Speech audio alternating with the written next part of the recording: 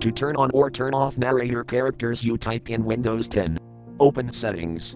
Click Start Windows icon. Click Settings.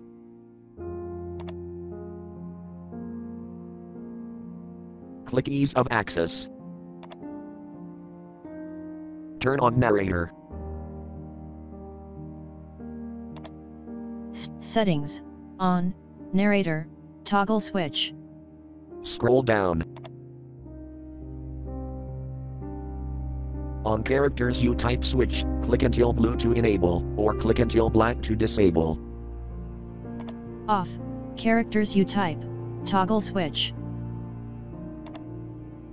Cortana window. Search box. Editing. Start window. Untitled. Notepad window. Editing. N. A. R. R. A. T. O. R.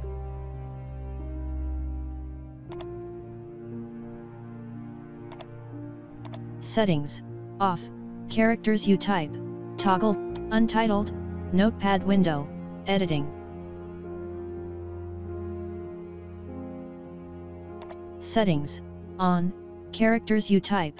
Top on. Narrator. Toggle switch. Untitled. Notepad window. Editing. Thank you for watching. Have a nice day. Pane.